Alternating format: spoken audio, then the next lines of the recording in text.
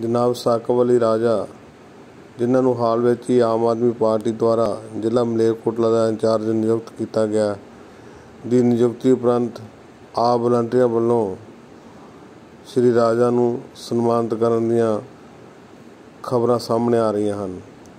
ਸ੍ਰੀ ਰਾਜਾ ਦਾ ਮੂੰਹ ਮਿੱਠਾ ਕਰਵਾਇਆ ਜਾ ਰਿਹਾ ਹੈ ਅਤੇ ਸ੍ਰੀ ਰਾਜਾ ਵੱਲੋਂ ਵੀ ਪਾਰਟੀ ਦੇ ਫੈਸਲੇ ਦੀ ਸ਼ਲਾਘਾ ਕਰਦਿਆਂ ਪਾਰਟੀ ਦੀ ਮਜ਼ਬੂਤੀ ਲਈ ਹਰ ਸੰਭਵ ਯਤਨ ਕਰਨ ਦਾ ਯਕੀਨ ਦਿਵਾਇਆ ਗਿਆ। ਇਸ ਸੰਬੰਧ ਵਿੱਚ ਸੰਦੌੜ ਦੇ ਵੱਖ-ਵੱਖ ਪਿੰਡਾਂ ਦਾ ਉਹਨਾਂ ਵੱਲੋਂ ਦੌਰਾ ਵੀ ਕੀਤਾ ਗਿਆ ਅਤੇ ਮਲੇਰਕੋਟਲਾ ਵਿਖੇ ਮੰਤਰੀ ਸਾਹਿਬਾਨਾਂ ਦਾ ਵੀ ਜੀ ਆਇਆਂ ਆਖਿਆ ਗਿਆ। ਇਸ ਉਪਰੰਤ ਝਨੇਰ ਵਿਖੇ, ਰਣਜੀਤ ਝਨੇਰ ਦੇ ਗ੍ਰਹਿ ਵਿਖੇ ਵੀ ਉਹ ਪਹੁੰਚੇ ਅਤੇ ਵੱਖ-ਵੱਖ ਪਿੰਡਾਂ ਵਿੱਚ ਉਹਨਾਂ ਨੂੰ ਸਨਮਾਨਿਤ ਵੀ ਕੀਤਾ ਗਿਆ।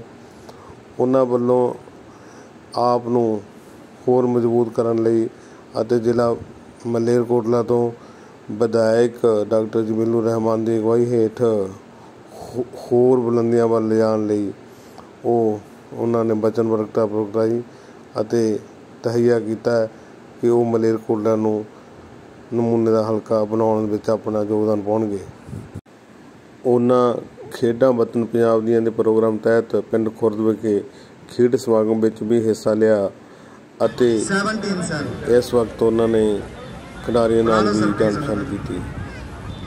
Islamia versus Alfalah under 17 boys